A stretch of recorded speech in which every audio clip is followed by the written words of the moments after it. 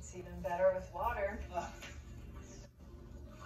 Sorry, I was um just doing research. Brand specs are in the binders. Oh, here, come here, hop in, hop in.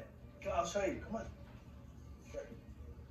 And all right.